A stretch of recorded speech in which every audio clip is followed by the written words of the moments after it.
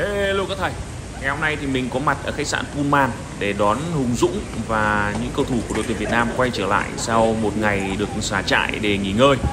Đây là chiếc xe chở Đỗ Hùng Dũng từ ờ, thành phố Hồ Chí Minh về với khách sạn Pullman ở thành phố Vũng Tàu.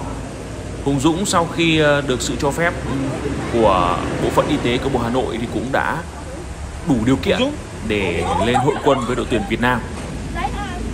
Sau khi ờ, được triệu tập thì Hùng Dũng lập tức ừ, di chuyển ra sân bay và bay thẳng vào trong thành phố Hồ Chí Minh, sau đó đi ô tô về khách sạn Pullman. Bây giờ thì chúng ta có thể quan sát được hình ảnh của Đỗ Hùng Dũng rất là giản dị. Anh sẽ di chuyển ra đằng sau để thực hiện bài test Covid trước khi hội quân cùng cả đội ở bên trong khách sạn và ăn tối. Hùng Dũng là một cầu thủ rất quan trọng và học trò cưng của thầy Park.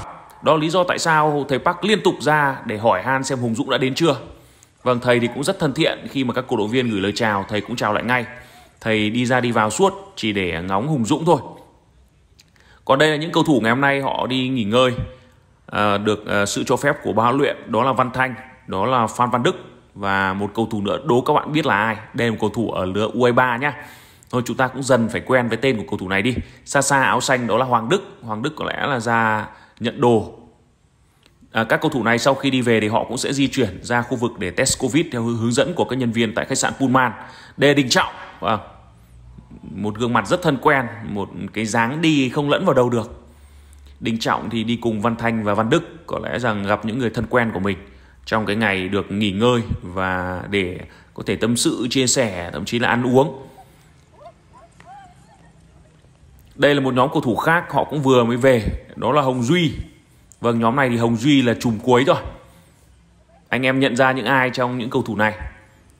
À, bọn mình cũng ờ, phải tác nghiệp và quay video từ xa để đảm bảo khoảng cách an toàn. Ở đây có một cái hàng rào chắn. Đấy, những cái bạn fan cuồng. Các bạn ấy cũng ờ, đứng từ rất xa để gửi lời chào đến thần tượng của mình. Bây giờ cao thủ thì đang bóng bàn xem là mình sẽ đi theo dáng gì cho nó cun ngầu khi ờ, di chuyển ra khu vực phía sau để test Covid.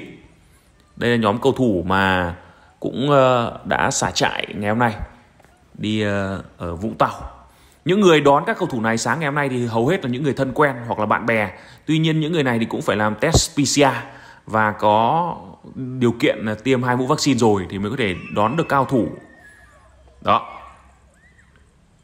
Những ờ, chàng trai của đội tuyển, Hồng Duy cũng rất thân thiện và quay trở lại trêu các fan luôn. À, chúng ta có rất nhiều nhóm cầu thủ và bây giờ thì cũng là một nhóm cầu thủ khác. Ở đây thì ờ, chúng tôi cũng đang quan sát xem ờ, đây là nhóm cầu thủ nào. Vâng, có vẻ như đây là những người trong ban huấn luyện chính xác như vậy.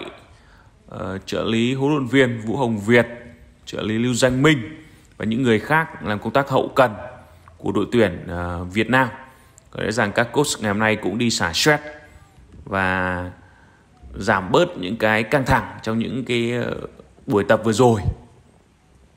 Vâng ờ, trông thế thôi chứ các ờ, trợ lý của chúng ta thì cũng là những người rất là vui tính và những người rất là trẻ trung. Có cả huấn luyện viên thủ môn thế anh nữa. Vâng đợt này thì ờ, một mình huấn luyện viên thủ môn thế anh, huấn luyện viên đâu đó là năm thủ môn. Thủ môn tấn trường, thủ môn văn cường, thủ môn quan văn chuẩn, thủ môn nguyên mạnh và thủ môn văn hoàng cũng rất là vất vả và nhiều căng thẳng. Áp lực là cho tất cả chúng ta tuy nhiên, người ta bảo rồi mà, phải có áp lực thì chúng ta mới có thể vâng đây là tiến linh. Tiến linh đã vấp phải sự truy cản của hàng rào được tạo ra bởi khách sạn. Tiến linh và tấn tài. Vâng hai người rất hay đi với nhau ở trong các ờ, buổi tập, rồi thì các cái buổi mà xả trại và vừa rồi thì tiến linh đã bị vấp phải một trung vệ khá rắn, một trung vệ ờ, tĩnh đến từ các nhân viên bảo vệ. Họ đã dựng cái hàng rào. Một là để ờ, ngăn cách những người lạ với cao thủ ở bên trong, có một khoảng cách an toàn. Công phượng kia rồi. Ngày hôm nay thì công phượng và nhóm cầu thủ anh gia lai, nếu như mình nhớ không nhầm thì cao thủ này di chuyển về thành phố hồ chí minh. Và ngay sau đó thì công phượng hình như lại lên xe và lấy đồ. Còn văn toàn, áo trắng xa xa kia, có lẽ là văn toàn. Chúng tôi nhìn được và cảm nhận được cái nét mặt của chủ tịch là rất tươi. Có lẽ rằng là trong những ngày vừa rồi thì đơn à, ba lô và đơn à, áo hoodie mới nhất 2021 của Vato 9 là chốt liên tục nên là nhìn à, trông chủ tịch lúc nào cũng nở nụ cười kể cả đeo khẩu trang. Và có vẻ như chủ tịch cũng à, đi shopping cùng với những người bạn của mình. Tuấn Anh. Vâng Tuấn Anh.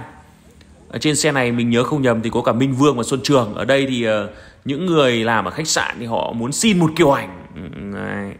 sau đó thì post Facebook khoe rằng là được uh, uh, phục vụ các cầu thủ của đội tuyển Việt Nam. Rất là tự hào đấy cũng nhiều niềm vui. Đó rồi, người đang ra là Xuân Trường. Nhìn đôi tất là biết ngay. Rất Xuân Trường và Minh Vương nữa. Minh Vương và Xuân Trường ngày hôm nay cũng đưa ra một cái thông báo rất quan trọng ở trên Facebook là họ vẫn chơi với nhau. Và thực sự đấy thông báo mà Minh Vương đã nhấn mạnh là cực kỳ cực kỳ quan trọng.